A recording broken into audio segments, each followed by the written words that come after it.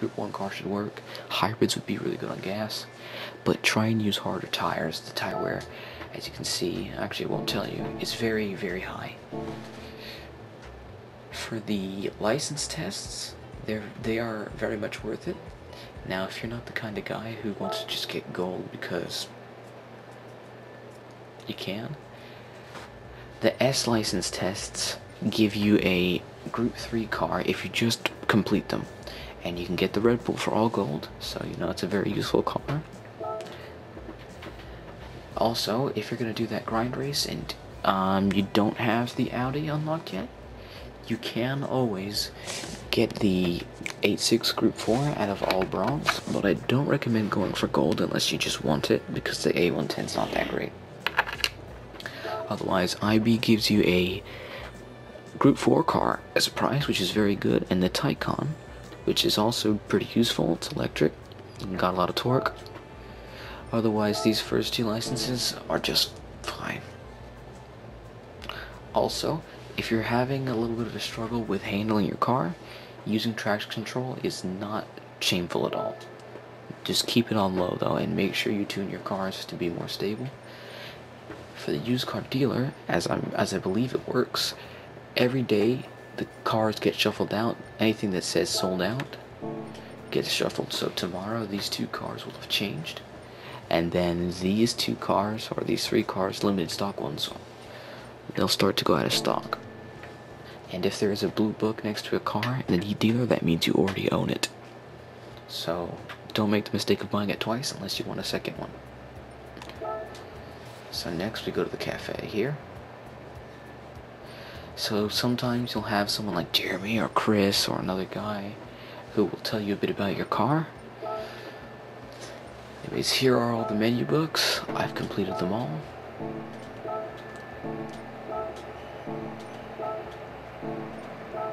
Go ahead and pause on any of them if you want to see the price cards.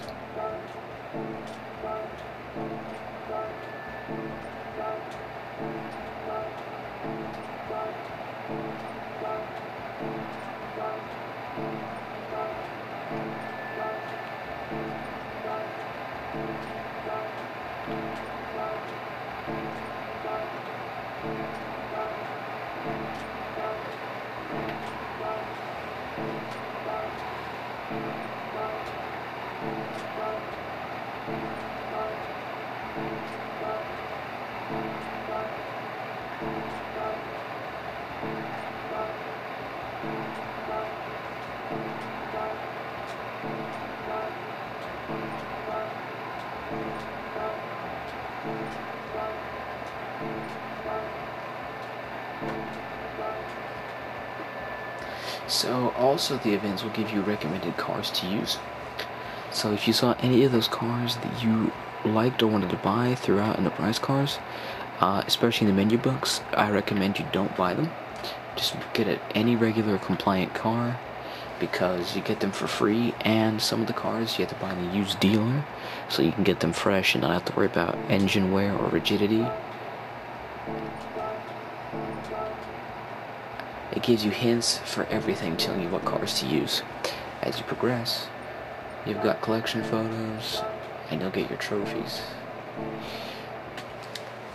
So another um, little trick I want to go over with you guys, the tune shop.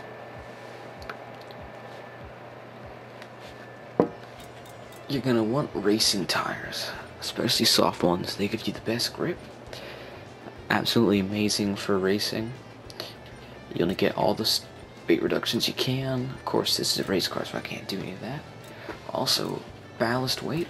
It's a very good buy for cars that have very close to perfect 50-50 weight distribution. So you can add just a teeny bit of weight to get there. Power restrictor, definitely want to buy that. And you also want the fully customizable computer, thus meaning you can upgrade a car with everything you can. That's the best thing to do, especially for sport races. Upgrade all the biggest performance parts you can because then when you use your power restrictor and your uh, ECU tuner to make the car less powerful, your car has more torque than it would if you just upgraded it to the bare minimum, or the uh, maximum I should say. Also, make sure you don't buy this transmission. You buy this one if you want the seamless shifts. This is the racing sort of sequential transmission. The regular manual transmission is good. You can still adjust the gear ratios, but the shifts are not as instantaneous. Also, this is a very cheap upgrade. Only about, I think they're 2,000 credits, usually. These brake pads are very good. Not to mention, you want to get the carbon ceramics. They're the best brakes in the game. I haven't used nitrous yet, and I know the new body and new engine, uh, they just reset your car to default factory.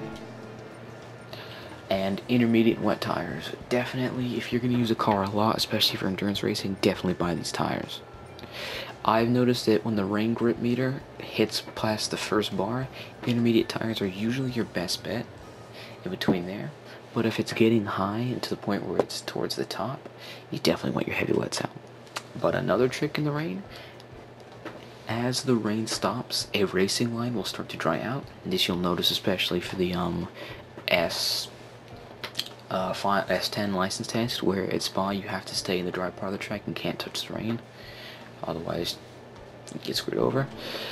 You can switch to the um, soft tires as long as the rain is below the first bar on the grip meter. Legend cars tend to update every couple of days. Currently, this is what they've got in stock. So in a couple of days, I'll switch them out. Um, I know that this GT350 is a new arrival. I believe there was something else there, just uh, just recently they sold out. And those cars that are in limited stock, I think they're bound to uh, go out of stock. Now I don't know exactly how that works, but um, that's for sure. Brand Central, you've got that little purple mail thingy. That's an invite. This is an invite to buy certain special cars. Let's see, we go here to Ferrari. If you look, you have an invitation and it expires on a certain date. Let's go over here and figure out what that's for. See, this invites you to buy their special cars which are the LaFerrari, the Enzo, and the FXX K. So if you did not have an invite to buy these cars, these little envelope slots would be gray, and you would be unable to access the cars. But you have the invite that allows you to buy the special car.